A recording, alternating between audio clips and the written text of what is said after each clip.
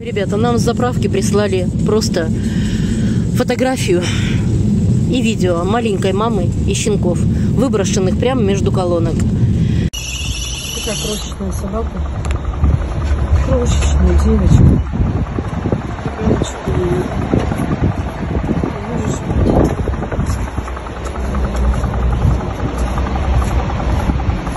Телефон.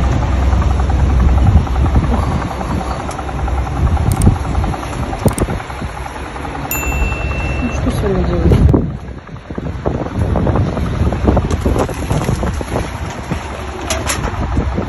Хлеб позвони. Мы сейчас едем, не знаем, на месте мама, не на месте. Но если дети там и мама маленькая там, мы их, разумеется, сразу заберем. Ребята, это зверство выбрасывать, выбрасывать маленькую маму со щенком на заправке среди колес. Люди, ну побойтесь Бога, хоть немножечко. Ну не бросайте вы мам с малышами на заправках. Дети маленькие лезут под колеса, когда машины заправляются, и они гибнут. Что же вы творите? Я прошу вас, люди, если вам не нужна собака, звоните, бейте в колокола, обращайтесь в приюты. Обязательно отзовутся. Обязательно, слышите? Ну что, мои хорошие,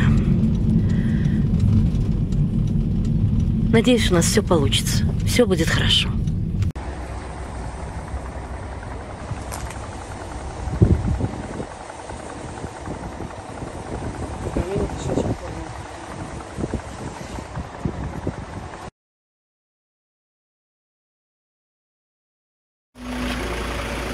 Малышу подвинь. Будешь уже, девочка? А? Сейчас покушаем и пойдем, да, солнышко? Моя хорошая. Неси переноску.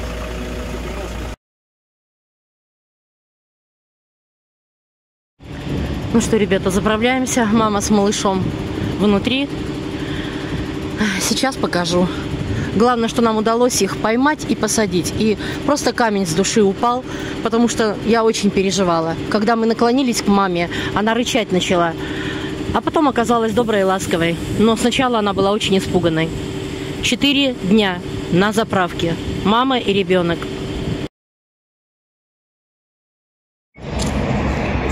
Ребят, ну что, маленькая мама у нас здесь. С малышом. Ребенок спит. Да? Напугала нас. Рычала так грозно. Такая грозная собака у нас была. И ради тебя мы промчались 500 километров. Ради тебя и твоего ребенка. А ведь какая-то сволочь вас выбросила.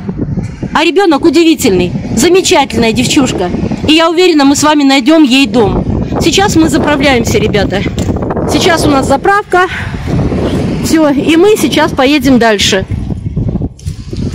Слава Богу, ребята, что ребенок, ребенок у нас и уже не мерзнет. Я хочу обратиться, друзья, ко всем вам. Малышка с сыном или с дочкой, я не знаю, мы не посмотрели в торопях, схватили, погрузили и поехали. Ребята, она 4 дня лежала на холоде под магазинчиком на заправке. Сколько народа проехало здесь и сколько народа видела ребенка. Кто-то, да, добренький, дал сосиску, кто-то там подкормил немножко. Мой низкий поклон этим людям. Но, ребята, это же не волкодав.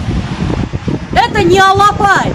Это крошечная девочка, которая ростом 25 сантиметров. И весит она килограмма 3 от силы.